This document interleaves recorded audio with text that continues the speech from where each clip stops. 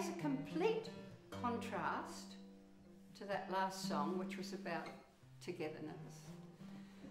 Well, I'll tell you, it's a Leon Rosselson song. We love Leon Rosselson's songwriting.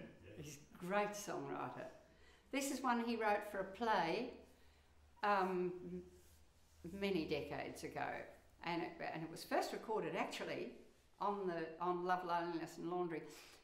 Val Bailey, Roy Bailey's wife, sang it. So the title tells all. It's called Invisible Married Breakfast Blues. okay.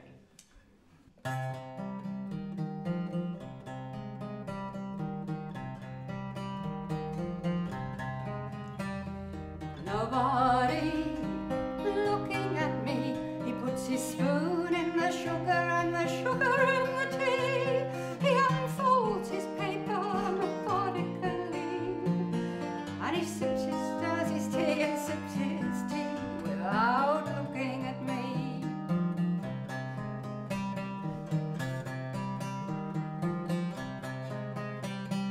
sips his tea without looking at me.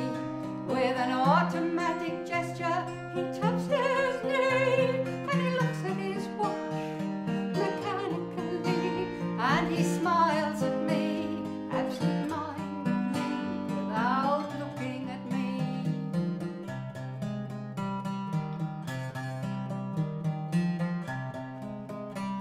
He smiles at me smile is as heavy as gravity, and it falls on the table and the cups of tea, and inevitably he kisses me without looking at me.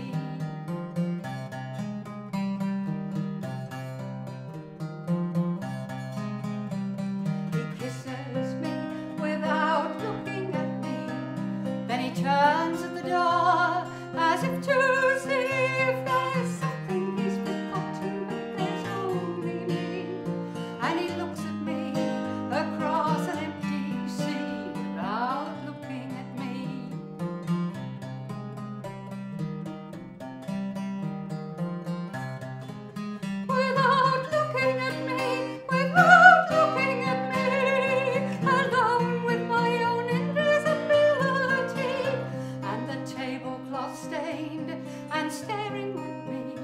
and the sugar